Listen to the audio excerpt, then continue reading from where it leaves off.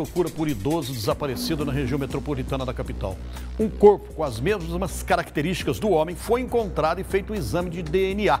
Só que a família está aguardando o resultado há mais de um ano e dois meses. Aí já é demais, né, gente? Vamos ver o que a polícia tem para falar.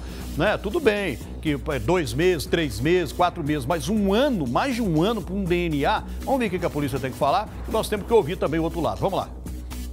Emily é a neta que José Antônio de Castro não conheceu. Eu, na época, eu estava grávida ainda, né? Então, ele tem uma neta que ele não conhece ainda. Então, meu sonho é ele voltar para casa. Há um ano e dois meses, a família vive uma expectativa sem fim.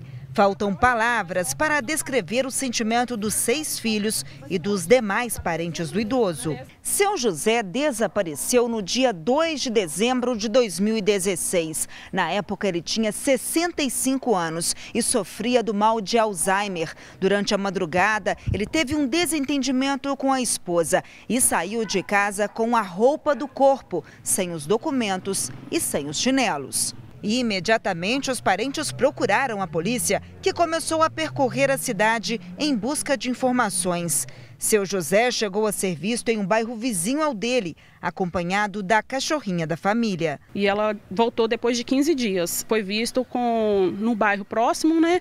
A gente estava até passando lá, mas só que a gente não viu. Chegamos perto do cemitério, entramos em mato, mas nada dele. Em março de 2017, três meses após o desaparecimento do idoso, os familiares receberam uma ligação do Instituto Médico Legal de Betim informando que o corpo de um homem com as mesmas características do seu José havia sido encontrado em uma mata, aqui mesmo em Ibirité. Os parentes foram então até o IML para fazer o reconhecimento por meio de fotos, já que os restos mortais já haviam sido enterrados como de indigente. O IML coletou a amostra genética dos filhos para fazer um exame de DNA. Um ano e dois meses depois, a família ainda não teve uma resposta. Os parentes querem saber se o corpo é mesmo de seu José ou se devem reforçar as buscas pelo idoso. A esperança um dia é achar ele aí na Boa Feliz com vida.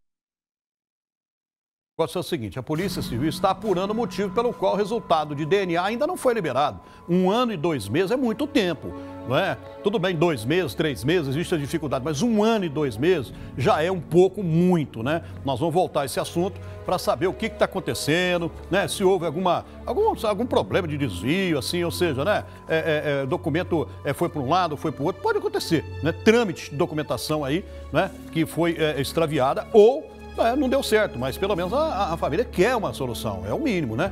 Olha, tem mais gente desaparecida aqui.